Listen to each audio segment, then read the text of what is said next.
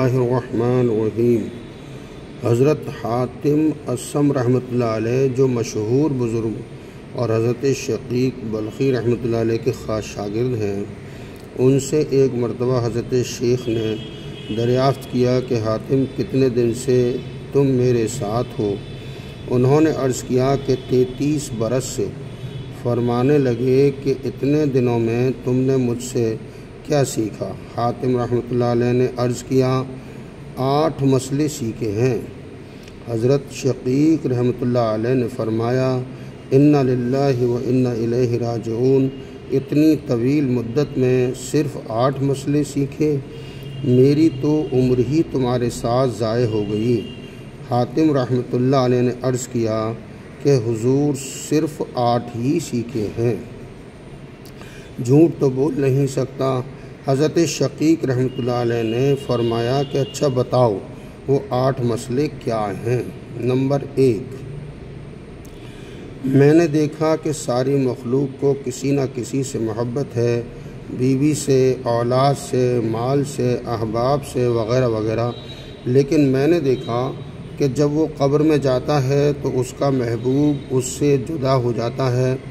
इसलिए मैंने नेकियों से मोहब्बत कर ली, ताकि जब मैं कब्र में जाऊँ तो मेरा महबूब भी साथ ही जाए, और मरने के बाद भी मुझसे जुदा ना हो। हज़रत शकीक रहमत ने फरमाया कि बहुत अच्छा किया। नंबर दो, बा।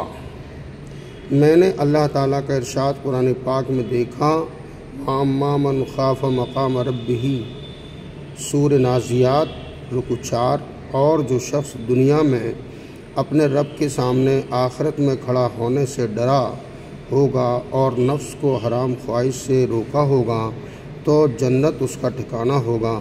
मैंने जान लिया कि अल्लाह ताला का इरशाद हक़ है। मैंने अपने नफ्स को ख्वाहिशात से रोका। यहाँ तक कि वो अल्लाह का, अल्लाह की इतायत इतात पर जम गया। नंबर तीन, जीन।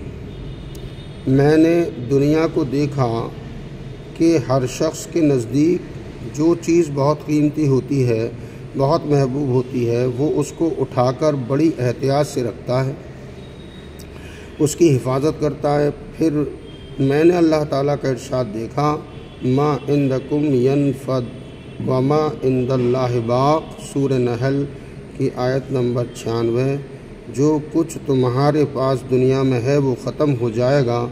ख्वाह वो जाता रहे या तुम मर जाओ, हर हाल में वो ख़त्म होगा। और जो अल्लाह ताला के पास है, वो हमेशा बाकी रहने वाला वाली चीज़ है। इस आयत शरीफा की वजह से जो चीज़ भी मेरे पास कभी ऐसी हुई, जिसकी मुझे वक़ात ज़्यादा हुई, वो पसंद पसंद ज़्यादा आई, वो मैंने अल्लाह के पास भेज दी, ताकि हमेशा के लिए महफूज हो जाए। दाल। मैंने सारी दुनिया को देखा कि कोई शख्स माल की तरफ़ अपनी इज़्ज़त और बड़ाई में लौटता है, कोई हसब के शराफत की तरफ़, कोई फ़ख्र की चीज़ों की तरफ़, यानी उन चीज़ों के ज़रिए से अपने अंदर बड़ाई पैदा करता है और अपनी बड़ाई ज़ाहिर करता है। मैंने अल्लाह ताला का इरशाद देखा, इन्ना अक्रमकुम इंदल्ला अतकाकुम सूर्य हजरात, आयत नंबर तेरह। अल्लाह ताला ने के नज़दीक तुम सब में बड़ा शरीफ वो है जो सबसे ज़्यादा परहेजगार हो। इस बिना पर मैंने तकवा इख्तियार कर लिया, ताकि अल्लाह जल शाहू के नज़दीक शरीफ बन जाऊँ। नंबर हाँ मैंने लोगों को देखा कि एक दूसरे पर तान करते हैं। ऐब जोई करते हैं, बुरा भला कहते हैं, और ये सब का सब हसद की वजह से होता है कि एक दूसरे पर हसद आता है। मैंने अल्लाह ताला शाहू का इरशाद देखा, नहन कसम न बेन हम मीशत हम सूर ज़ुखरुफ, आयत बत्तीस, दुनियावी ज़िंदगी में उनकी रोज़ी हमने ही तकसीम कर रखी है, और इस तकसीम में हमने एक को दूसरे पर फोकियत दे रखी है, ताकि इसकी वजह से एक दूसरे से काम ले, लेता रहे।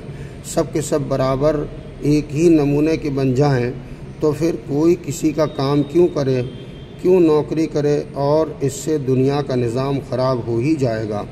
मैंने इस आयत शरीफा की वजह से हसद करना छोड़ दिया। सारी मखलूक से बेताल्लुक़ हो गया, और मैंने जान लिया कि रोज़ी का बांटना सिर्फ़ अल्लाह ताला ही के कब्ज़े में है और जिसके हिस्से में जितना चाहे लगाए। इसलिए लोगों की अदावत छोड़ दी और ये समझ लिया कि किसी के पास माल के ज़्यादा या कम होने में उनके फ़ेल को ज़्यादा दखल नहीं है। ये तो मालिकुल मुल्क की तरफ़ से है, इसलिए अब किसी पर गुस्सा ही नहीं आता। वाह मैंने दुनिया में देखा कि तकरीबन हर शख्स किसी न किसी से लड़ाई है इससे लड़ाई है, किसी न किसी से दुश्मनी है।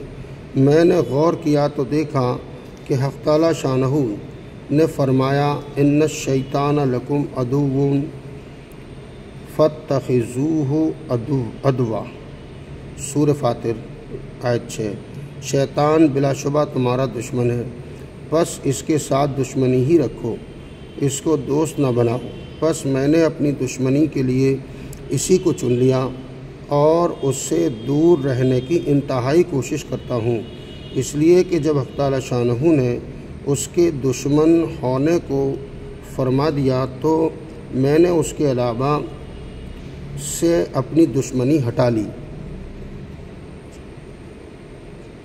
सात नंबर, जे।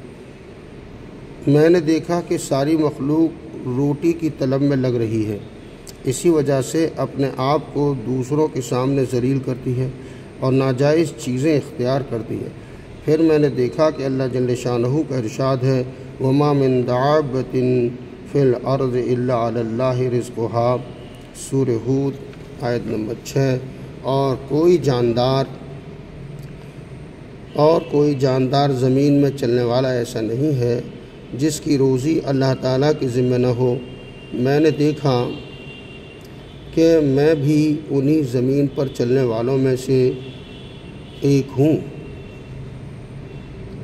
जिनकी रोज़ी अल्लाह ताला के ज़िम्मे है। बस मैंने अपने अवकात इन चीज़ों से मशगूल कर लिए, जो मुझ पर अल्लाह की तरफ़ से लाजिम है, और जो चीज़ें अल्लाह ताला की ज़िम्मे थीं, उससे अपने अवकात को फारिग कर लिया। नंबर आठ। है, मैंने देखा कि सारी मखलूक का अतमाद और भरोसा किसी ख़ास ऐसी चीज़ पर है जो ख़ुद मखलूक है। कोई अपनी जायदाद पर भरोसा करता है, कोई अपनी तजारत पर अतमाद करता है, कोई अपनी वसतकारी पर निगाह जमाए हुए है। कोई अपने बदन की सेहत और क़वत पर कि जब चाहे, जिस तरह चाहे कमा लूँगा। और सारी मखलूक ऐसी चीज़ों पर अतमाद किए हुए है जो उनकी तरफ़ ख़ुद मखलूक, उनकी तरह ख़ुद मखलूक है। मैंने देखा कि अल्लाह ताला का इरशाद है, वमन तवक्ल अल्लाह फ़वा हसब सूर तलाक़, आयत तीन। जो शख्स अल्लाह ताला पर तवक्ल और अतमाद करता है, बस अल्लाह ताला उसके लिए काफ़ी है। इसलिए मैंने बस अल्लाह ताला पर ही तवक्ल और भरोसा कर लिया। हज़रत शकीक रहमत ने फरमाया कि हातिम रहमत तुम्हें हफ़्ता शान तोफ़ी अता फ़रमाएँ। मैंने तौरात, इंजील, ज़बूर और कुरान अज़ीम के ूम को देखा। मैंने सारे खैर के काम इन्हीं आठ मसाइल के अंदर पाए। बस जो इन आठों पर अमल कर ले, उसने अल्लाह ताला शानहू की चारों किताबों के मजामी पर अमल कर लिया। इस किस्म के ूम को आखरत ही पा सकते हैं और दुनियादार आलिम तो माल और जहाँ के ही हासिल करने में लगे रहते हैं।